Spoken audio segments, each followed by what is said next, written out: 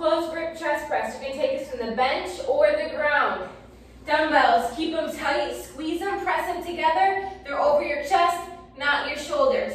Come down, elbows right at your rib cage. Squeeze them up as you come up.